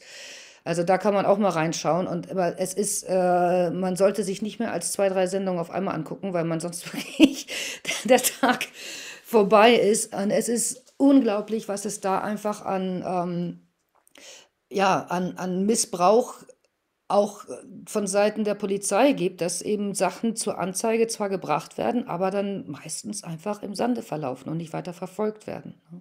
Mhm. Und deswegen, also äh, Information, Information, Aufklärung bekannt machen, drüber reden, weiter verbreiten, das ist meines Erachtens wirklich das, das wo man am meisten zu beitragen kann. Und äh, es ist auch oft so, ich meine, ich bin ja auch Teil des Indianer Inuit Filmfestivals. Ähm, Nordamerika Filmfestivals. Und da kriegen wir regelmäßig von, von den, den Leuten zu hören, hey, ihr in Europa, ihr interessiert euch mehr für die Realität als die Leute in den USA oder in Kanada zum Beispiel auch. Ne? Mhm. Also gerade auch in Deutschland, da ist das Interesse, was da passiert, wesentlich größer. Die, die meisten in, äh, äh, in den USA und auch in Kanada, also excuse my language, they don't give a shit. Und es ist so, also ich meine, gut, die USA hat jetzt eine, eine äh, Pueblo-Innenministerin, aber es gibt auch viele Stimmen, die mittlerweile anfangen, sich wirklich Sorgen um sie zu machen, weil sie extrem exponiert ist, nicht nur weil sie indigen ist, sondern eben auch, weil sie eine Frau ist. Ne? Mhm. Und äh, da auch, also ein Film, der, der wirklich sehr gut auf die Thematik auch hinweist, das ist äh, Sisters Rising, der jetzt vor kurzem auch, letztes Jahr ist der gemacht worden, ist ein Porträt von mehreren Frauen, die eben auch in, in diese Schlaufe der Gewalt reingekommen sind. Und ähm, ja, ich kann mich nur noch mal wiederholen. Also Pro Programme aufzwingen ist auch ein Problem, weil da die, die Weißkanadier, also die, die sich dafür interessieren, die finden die Quellen, wo sie dann drankommen können. Ne? Äh, und die, die sich da nicht für interessieren, die finden immer wieder Wege und Weise, um dann, ja, das ist doch sowieso alles nur erfunden. Ne? Ja, einmal das, und dann habe ich jetzt auch gelesen, ähm, als ich mich hier wieder so ein bisschen eingelesen habe für unser wunderbares, sehr anregendes Gespräch, dass es auch Leute gibt, die sich schon getroffen fühlen durch die Berichte über diese Schulproblematiken, weil sie zum Beispiel auch Gedenkstätten oder äh, ja, Mahnmale, die an diese Kinder, an diese Schulen und an die, ihre Opfer erinnern sollen, zerstören oder beschädigen. Ähm, warum macht man sowas, wenn man ähm, kein schlechtes Gewissen hat? Frage ich mich dann immer. Also irgendwie müssen die Leute doch ähm, vielleicht sogar ja, getroffen sein. Es könnte ihnen ja sonst egal sein. Oder so Sprüche, wie du sie vorhin zitiert hast, auch ähm, diese Friedhöfe, die gibt es doch gar nicht. Diese Missstände hat es doch nie gegeben. Ihr wollt doch bloß unser Ansehen in der Welt schädigen. Das ist irgendwie schwer nachzuvollziehen. Ja, das ist es in der Tat. Ich sehe hier gerade noch eine Frage in äh, Frage und Antwort. Die First Nation wollen selbstbestimmt leben, aber wie werden sie Teil der kanadischen Gesellschaft werden? Wollen sie denn überhaupt? Wollen? Ja. die, frage mich, ob das das Ziel ist, das Angestrebte. Das habe ich jetzt akustisch frage, nicht verstanden. Ich frage mich, ob das das angestrebte Ziel sein muss oder das einzige anzustrebende Ziel sein kann. Teil der kanadischen Gesellschaft zu werden. Aber ich will dir die Antwort nicht wegnehmen. Das ist am Endeffekt genau darauf, wo ich hinaus wollte, aber es ist gut, damit anzufangen, weil das auch eine, ein Argument von vielen Indigenen und First Nations ist, also auch in den USA. Ähm, wir haben euch nicht eingeladen, hierher zu kommen. Ja, ihr seid hierher gekommen, wir haben euch am Anfang mit besten Willen und Gastfreundschaft willkommen geheißen ähm, haben euch ermöglicht zu überleben, haben euch über, äh, ermöglicht, hier ein neues Fuß zu fassen, weil aus welchem Grund auch immer ihr euer Herkunftsland verlassen wolltet. Und von Anfang an, ganz von Beginn, hat es wirklich immer wieder von der indigenen Seite her äh, alle möglichen Versuche gegeben, ähm, die ja, eine Gemeinsamkeit zu finden, ein gemeinsames Leben zu finden und eben auch Abkommen zu machen, weil das ist auch eine, eine, eine Idee, die sich viele Leute machen. Also klar, es gab in Nordamerika nicht so ein Territorialrecht, wie es in Europa gegeben hat. Das heißt aber nicht, dass es keine Territorien gegeben hat. Das heißt nicht, dass, die, dass es keine Protokolle gegeben hat, wie man Ressourcen von dem Nachbarterritorium nutzen darf und kann und dergleichen. Sie funktionieren vollkommen anders wie halt europäisches Territorialrecht. Ne? Und ähm, die Verträge, die es gegeben hat, wo dann immer schön drüber stand, solange die Sonne scheint und das Wasser fließt und so weiter und dann alle einseitig von den USA gekündigt worden sind. Und ich will jetzt keine Anspielung machen auf eine Sache, die gegenwärtig in einem anderen Land gerade läuft. Ähm, aber die Sache ist eben auch, wo die Indigenen sagen, okay, alle Verträge, alle Versuche, die wir unternommen haben, sind einseitig von dieser anderen Macht äh, die halt immer stärker wurde, beziehungsweise auch mit Mitteln gekämpft hat, wo am Anfang die ähm, Indigenen überhaupt nicht mit, mit klargekommen sind und gesagt haben, ey, was geht hier los? Also nur ein ganz kleines Beispiel, aber das ist mittlerweile wohl allgemein bekannt. Das Skalpieren stammt nicht von den Indianern. Ne? Das Skalpieren stammte von den Eroberern, um halt zu beweisen, dass man mit dem indianischen Problem aufräumt. Und das war auch die ganz klare Aussage dieser, der Schule als die Schulen konzipiert wurden. Und zwar sowohl in den USA als in Kanada. Und das ist auch eine Frage, die, die viele Jugendliche sich heute stellen. Also was haben wir eigentlich, was den Leuten so Angst macht? Ja, dass sie uns ausrotten wollen. Und insofern ähm, sagen die First Nations auch ganz klar, äh, nein, Teil der kanadischen Gesellschaft. Äh, wollen wir das überhaupt werden? Nein, wir möchten als eigene Gesellschaft innerhalb einer kanadischen Konföderation meinetwegen anerkannt werden. Ja? Deswegen heißt es ja mittlerweile auch immer mehr, also ja, in so-called oder was ist heute British Columbia genannt, was heute Kanada genannt wird. Obwohl mhm. auch, da habe ich jetzt vor kurzem auch einen, einen interessanten Kommentar gelesen, was sich jetzt in den letzten Länder, äh, Jahren ja auch ein, eingebürgert hat, sind die sogenannten Land Acknowledgements. Auch gerade durch die Webinare die letzten zwei Jahre, dass jeder erstmal halt das Land äh, nennt von oder traditionelle Land, von dem aus er dann sich einklingt und dergleichen. Und jetzt kommen die ersten Kommentare raus, ja, dieses Land Acknowledgement, diese Landanerkennung war eine unglaublich wichtige Sache im traditionellen Protokoll, dass wenn jemand zu Besuch kommt, er erstmal willkommen geheißen wird. Und nur wenn er willkommen geheißen wird, kann er das Land tatsächlich auch betreten. Wenn er nicht mhm. willkommen geheißen wird, dann gilt er als ein, äh, Eindringling und wird dementsprechend auch behandelt. Ne? Und durch diese ganzen Land Acknowledgements werden jetzt auch die ersten Stimmen laut, wo gesagt wird, das ist ein, ein Protokoll, was plötzlich irgendwo hohl wird, weil alle machen es. Ne? Ja, klar, das gehört jetzt dazu. Also genauso wie oft in den ganzen kanadischen Berichten halt ja our Aboriginal People hier und dort und äh, immer anerkannt werden. Aber was das jetzt direkt wirklich für die Leute heißt, das wird oft überhaupt nicht gestellt. Und deswegen gibt es auch viele Indigene, die sagen, äh, ja, okay, der, der Papst verweigert die Entschuldigung. Aber auf der anderen Seite, was bedeutet die Entschuldigung? Wenn es nur Worte sind, genauso wie Harper oder auch der damals, der erste war ja der, der australische Premierminister, der sich entschuldigt hat, wo auch ganz klar gekommen ist, ey, okay, schöne Worte, toller Medieneffekt. Und was jetzt? Ja. Medieneffekt ist äh, Trudeau ja auch sehr geübt, muss ich sagen. Der ist ein, ein, ein Showman. Ja. Das habe ich auch sehr häufig gelesen im letzten Sommer. Sehr, sehr bitter, bitter böse Kommentare von der indigenen Seite, dass sie seine Floskeln und sein Gelaber nicht mehr hören wollen, weil außer Labern tut er nichts. Ja, und ich meine, bei Trudeau kommt ja noch mit dazu, dass im Anfang, als er gewählt worden ist, also gerade die indigene Bevölkerung sich unglaubliche Hoffnung gemacht hat und sich gesagt hat, okay, also jetzt ändert sich was, ne? Und äh, ausgerechnet er ähm, will jetzt eben auch die Trans Mountain Pipeline durchsetzen, koste was es wolle, und zwar so, dass sie sogar mit Staatsgeldern aufgekauft hat und so weiter und so fort. Also da ist ein Widerspruch einfach zwischen dem, was er auf der einen Seite präsentiert und auf der anderen Seite, wie er handelt. Und da ist auch bei vielen First Nations Leuten, die einfach sagen, hey, nichts Neues. Mhm. Genauso ist es die ganze Zeit gelaufen. Insofern, warum sollen wir Teil einer Gesellschaft werden, die uns nicht so akzeptiert, wie wir sind, sondern uns in eine gewisse Form reindrängen möchte. Und dann akzeptieren wir. Ne? Ich meine, das Gleiche, und ja, das, das, das ganz große Dilemma ist ja auch, dass ähm, äh, diese Dimension wie, wie Consultation zum Beispiel, also dass man die indigenen Völker befragt. Ne?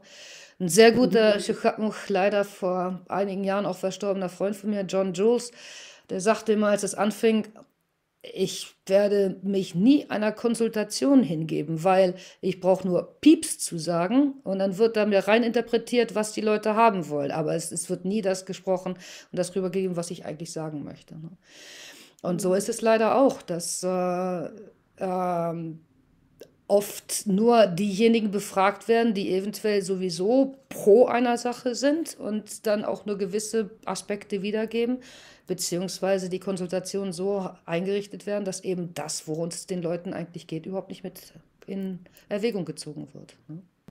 Genau, deswegen ist äh, der berühmte Free Prior Informed Consent, der von der UNO ja ausgehandelt wurde, eben ein Consent und nicht Consultation. Die Leute, die das gerne nutzen möchten, um sich reinzuwaschen, die tun dann so, als ob das C für Consultation steht. Es steht aber für Consent. Ja, genau. Petra Röder hat noch eine Frage. Wie stellen sich die First Nations denn die Zukunft vor? Es geht doch nur miteinander. Dann erinnert sie, dich, erinnert sie sich daran oder erinnert sie dich daran, dass, dass wir 2027 mit Wendell auf Tour waren. Ich denke, das war 2017, ja. Hallo Petra. Ja. Ja, wie stellen sich die First Nation denn die Zukunft vor? Also ähm, genau in der Fragestellung ist zum Beispiel gerade ein, ein Problem drin, weil es gibt nicht nur eine Vorstellung der Zukunft. Also das ist auch eine Sache, die, ähm, wo ich am Anfang wirklich sehr drauf hingewiesen wurde. Also als kleine Anekdote, warum ich so die Antwort erstmal beantworte. Ich habe irgendwann mal eine von, von den Schuschap-Eltern eine Sache gefragt, die im Prinzip aus, ähm, aus Dene Country kam. Also eine ganz andere Nation, ganz andere Kultur, ganz andere Denkweise. Also so unterschiedlich wie, ja, ich würde mal sagen, äh, ich hätte fast gesagt Süddeutsche und Norddeutsche, aber noch eine ganze Ecke unterschiedlicher im Endeffekt, weil es auch verschiedene Sprachen sind. Und ihre Antwort war ganz einfach, ey, ähm, keine Ahnung, wie die das denken die leben in einer vollkommen anderen Welt als wir. Und ich meine, wir hier haben halt immer so die einen, den Eindruck, die First Nation, genauso wie die Indianer, mit all meinem Respekt allen Leuten gegenüber, dass es so eine Einheit ist. Aber es ist genauso eklektisch wie die Europäer. Ich meine, die Europäer gibt es ja auch nur irgendwo auf dem Papier, wenn man es mal so nimmt. Wenn man sich die einzelnen Länder anguckt, dann gibt es auch schon total verschiedene äh, Meinungen. Und wenn man sich dann nochmal die einzelnen Leute in den verschiedenen Ländern anguckt, dann gibt es genauso viele unterschiedliche Meinungen. Ne?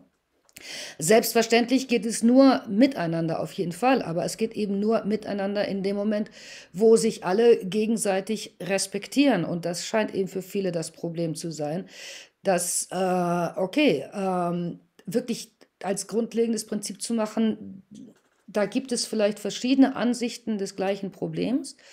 Wer entscheidet, welche die richtige ist? Ja? Oder muss überhaupt jemand entscheiden, welche die richtige ist? Wäre nicht mhm. eben im Betrachten aller dieser verschiedenen Ansichten die Möglichkeit, an einer bestmöglichen gemeinsamen Lösung ranzukommen? Ne? Und ja, also ich glaube, das ist auch das, worum es den meisten geht. Äh, es ist auch eine Sache, deswegen, also heute, ich habe wirklich nur von meinem Standpunkt und nur für mich gesprochen in all dem, was ich hier heute gesagt habe. Und das ist mir ganz wichtig, das auch nochmal zu erwähnen. Ich vertrete keine Meinung irgendwelcher Chihuahuas, ich vertrete keine Meinung, auch nicht die von Evelyn Camille. Ich habe sie zu Wort kommen lassen. Ich habe so erzählt, wie bei mir manche Sachen angekommen sind, die sie mir erzählt hat. Aber es ist meine Weise, diese Sachen zu sehen. Es ist meine Vision, meine Interpretation der Sache eben auch. Ne? Und es ich kann mich bei manchen Sachen auch komplett täuschen. Gebe ich auch zu. Also stelle ich auch in den Raum, ist auch möglich. Aber das ist eben genau die Dimension. Und das ist das, was man als in der Sozialisierung, die ich bei den Tschechotmach erfahren habe, eben mitbekommt, dass man lernt, seine eigene Wahrnehmung zu schärfen und die Wahrnehmung eines anderen für genauso wichtig und respektabel wie seine eigene hält. Ja. Mhm. Das ist ein fast schon ein wunderbares Schlusswort. Ich habe gerade mal eben auf die Uhr geschielt. Wir sind schon drei Minuten über die Zeit. Oh. Aber ich gebe dir gerne nochmal äh, natürlich ein Schlusswort. Zusätzlich, wenn du noch was loswerden möchtest, bevor ich mich dann allerherzlichst bei dir bedanke. Ja, ja, ich, ich, ich glaube, das ist es, das, was, was glaube ich, mein größtes Anliegen ist und was wir, glaube ich, auch aus, ähm, äh, aus der Geschichte am meisten lernen können. Ähm, es gibt diesen schönen Satz, also der Respekt fängt äh, an, nein, wie heißt es? In dem Moment, wo ich die Grenzen der anderen respektiere, fängt Respekt an. Okay, dann ist die Frage, was, was sind die Grenzen der anderen? Aber ich glaube, in dem Moment, wo, wo man sich selber respektiert und vor allen Dingen selber merkt und anerkennt und lernt, sich selber gegenüber anzuerkennen, dass die Art und Weise, wie man auf Sachen schaut, eben sein eigener Blickwinkel ist, der, oder mhm. seine, ja, der eigene Blickwinkel ist auf jeden Fall, der eben auch äh, kulturell geprägt ist, der durch Erfahrung geprägt ist, der durch alle Erlebnisse, die man hat, geprägt ist. Und eine andere Sache, die auch ganz wichtig, glaube ich, ist, ist zu versuchen zu lernen, sich in die Perspektive des anderen reinzuversetzen. Also wenn mhm. man eine Sache sieht, die einem erstmal komisch vorkommt, ich meine, ich habe ja auch verschiedene Kurse in Bezug auf Feldforschung und dergleichen gemacht und ich habe eigentlich immer mit dem Satz angefangen, hütet euch vor dem Selbstverständlichen. Weil meistens mhm. genau in dem, was man für selbstverständlich halt, hält, genau da die Fettnäpfchen drin schlummern. Und ich habe es selber mhm. oft erlebt. Ne? Dass man wirklich, wenn man denkt, ah, das ist doch klar, das machen doch alle so. Nee, das sind genau oft die Sachen, die andere nämlich anders machen. Und dann über den Punkt zu kommen, das einfach nur komisch zu finden, sondern sich zu überlegen, okay, warum machen die das eigentlich anders? Ja, das mhm. ist, glaube ich, der erste Schritt, um da wirklich zu einer Gemeinsamkeit zu kommen. Das ist zumindest mein Credo. Ja. des gegenseitigen Respektes und Miteinanderlebens. Und dann ist es eigentlich auch kein Problem, ob man äh, gerne Soul mag oder gerne Hip-Hop mag oder gerne Klassik mag. Es ist dann halt jedes Mhm. eigenen ähm, Belieben ist. Oder wie ich, alles zusammen. Genau, ich auch. Je nach Stimmung.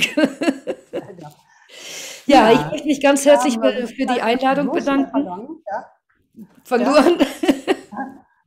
Also ich bin platt, dass wir jetzt schon hier den ganzen Abend miteinander verbracht haben. Ich finde das, habe es äh, in der Planung schon toll gefunden, dich an Bord zu haben. Ich finde, das ist eine sehr gute Entscheidung gewesen, dass wir das gemeinsam gemacht haben. Danke. Und äh, ja, und möchte äh, nicht verpassen, was mir hier Caro souffliert hat, nochmal kurz auf die nächste Veranstaltung hinzuweisen. Am 12. April ist die nämlich von Dersim bis Afrin, Zerstörung kurdischer Familien durch die Türkei.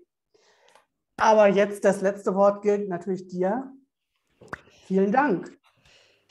Und Ja, ich hoffe, das war die letzte Zusammenarbeit. Das hoffe ich wirklich sehr.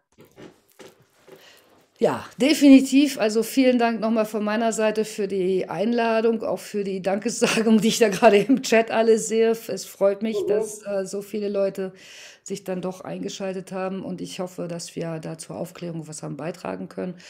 Und immer wieder eine große Freude, mit dir zusammenzuarbeiten, Yvonne. Und äh, ich hoffe, dass das auch weitergeht mit der GFBV, wenn du dann nicht mehr mit dabei sein solltest. Ja, naja, also man kann ja auch ehrenamtlich arbeiten. genau. Dann kann ich mir, also der Hintergrund für euch alle, die ihr noch zuhört, ist der, dass ich im Sommer in Rente gehen werde. Aber dann habe ich ja den großen Luxus, dass ich mir die Sahnehäppchen rauspicken kann, zu denen ich noch weiterarbeiten möchte und alles andere einfach weglassen kann. Das ist auch was Feines. Genau.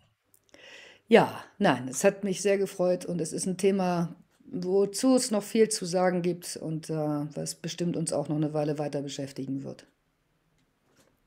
Nina, ich danke dir. Und ich danke auch Caro, die im Hintergrund für euch alle unsichtbar die Technik handelt. Und wünsche euch beiden noch einen wunderschönen Abend. Ebenso an euch beide auch. Also, dann.